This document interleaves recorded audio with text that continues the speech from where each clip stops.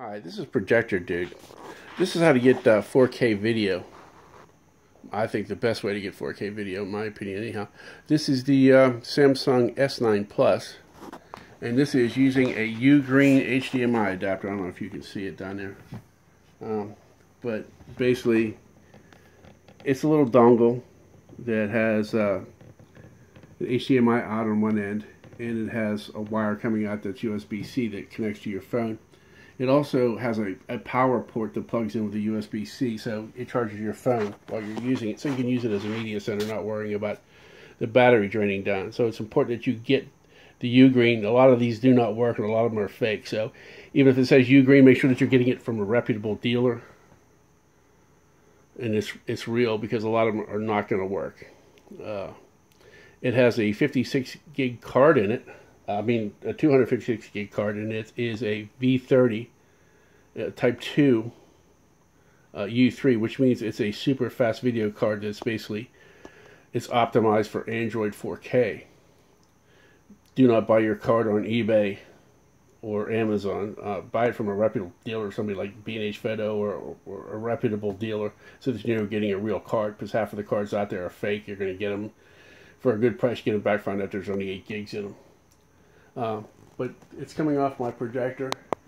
And that is a Epson, that's a 5040. Uh, that's got about 1800 hours on it. The bulb it probably has 800. I just put another bulb in it because I got a bunch of bulbs being a dealer.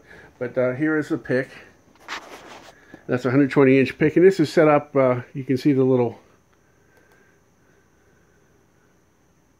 whoops. What I do now, Ocean Sun, so wrong one. Here we go.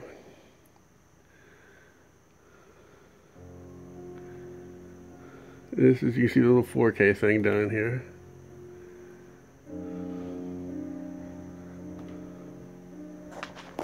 And that's a 120 inch pick. That's actually just a cheap uh, rollout screen. It comes in a roll, it's really thick, it's PVC. Right now I'm on uh, mid lamp which means um, it's not low and it's not high. It's in between. It's medium lamp. it's there's no HDR10 or Dolby Vision or any of that crap on it. It has a tendency to make the picture too dark. I mean, I'm an HDR fan for flat screen, especially if you have local dimming, but they don't really work all that great for everybody's like really keen on it. It's like I don't know why. Uh, it doesn't work well for projectors. Now this particular, this video is coming off of YouTube. And there are no commercials because it's on Ghostery, which is an add-on that you add on. And it blocks the commercials. You just really got to know what you're doing with it. Uh, try to blank out a bunch of Google stuff. Don't let YouTube on your phone like kill that app. It seems like the, the, when you're logged into Google, the more that you're on Google, the more it has a tendency to want to crash. And that's no accident but I haven't seen a commercial on YouTube in years. I, couldn't tell you what, what's on YouTube commercial wise. Uh, this is T-Mobile and it's unlimited. And I get basically I'm doing 150 to 250 gigs a month. So some of it's 4K, some of it's 1080p. And it, it runs fast, uh, 15 megabits per second. I've never dropped under 20. Now I pay $85 a month for two phones and I have an unlimited hotspot, but I've had it forever and I'm grandfathered in. So basically my phone runs a hotspot that, that never shuts down either. And that runs fairly fast. The slowest it's ever been is like 5 megabits per second. And uh, that's uh, LG, that's an OLED. And that's got a nice pick too. And that does better with HDR, but the OLED picture's always been a little bit on the dark side anyhow, so it doesn't really benefit. I think, you know, if you have a QLED, uh, they seem to work great uh, with the HDR signals. It just seems like the, darker OLEDs, and that one already has a little bit of burn-in. It's almost two years old. I bought it at the same time I bought the projector. But yeah, um, Samsung S9, any of the higher end phones will put out 4K, uh, 60 hertz, and a 4K adapter and a good card, good fast card to, to store everything in.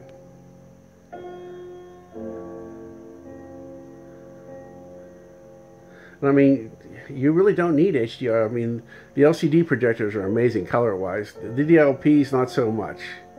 As a matter of fact, if you're going to get a faux 4K projector, stay away from the DLPs. You're going to be a little disappointed. The picture stability is not the same. The color saturation is not the same. They have a tendency to be sharp, but it, at the price you pay, it just the color's just not there. Uh, just stick to the Epsons or a JVC or an LCoS projector if you can afford a 4K uh, projector. Even the 4100 and the Epson 4000, which are, are, are, really good projectors also. So they're going to give you an amazing pick. Now I do a lot of touring, so this phone basically, you know, I don't really pay for movies. There's probably 30 movies in here that are 4K and you just got to be careful with the torrent sites you download from if you're not used to torrenting them. I'm on a VPN. I've had three VPNs. Though with T-Mobile, you don't really need them because they're German. They don't really give a crap. They're not going to send you a violation a notice, a use notice. And to get 4K, you really got to use a, a decent adapter. I mean, you can't mirror to your TV because it's going to come out to be 1080p. It's not the same. It, it, doesn't have that kind of ability. You've got to use the HDMI adapter. Try to use uh, a 2.2 HDMI. The, this is a 1.4 and it's working fine. So, so much for that crap. And this is a 25 footer. I got for Walmart at 13 bucks. So. Yeah, the S9 uh, Plus and the S9s, are, they're great little. This has 6 gigs of RAM. So, I mean, it is a powerful, powerful processor. So it does the video. It's amazing with the video. And what I do is when I'm watching video like this long term, it's not burning. I just turn the screen brightness down and it doesn't affect the brightness on the... Uh... So, here we go. Completely turn the brightness down on that and I'll switch to another page with a blank page or and it just keeps playing. Uh, but this has been projector, dude. This is uh, this is 4K video off a Samsung S9 Plus. My opinion, the best way to get 4K.